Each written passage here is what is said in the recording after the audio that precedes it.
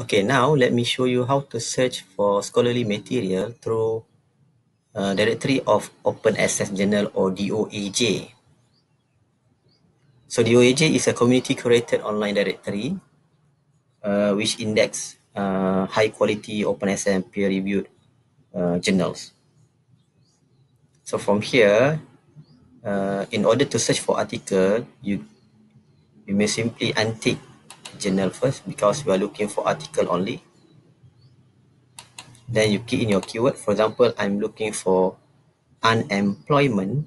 Then you just click search. Then they're going to open for you the result. So basically this is the number of result provided. By default, they're going to display you 10 result per page. You can change them For example, I want to change directly to 100. So easy for me to browse them in one page.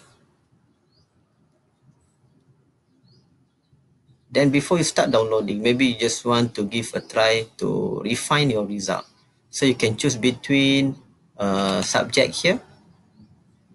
You may also choose according to journal title or journal has DOAJ seal Seal is another um, option provided uh, to the journal index in DOAJ for those who uh, fulfill certain criteria of uh, open access uh, practices and they're going to be upgraded into DOAJ seal.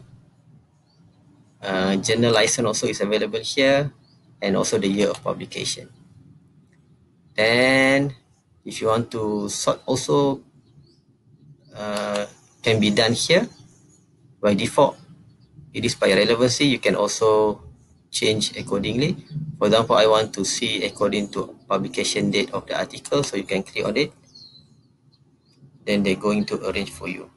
So if you want to get the uh, full text so as long as you can see this one full text full text so you can simply click on it in order to get the full text.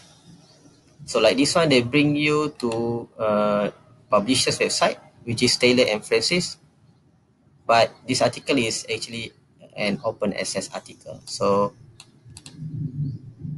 you manage to get the full text PDF directly from here. So you just click PDF icon, then you just download as usual.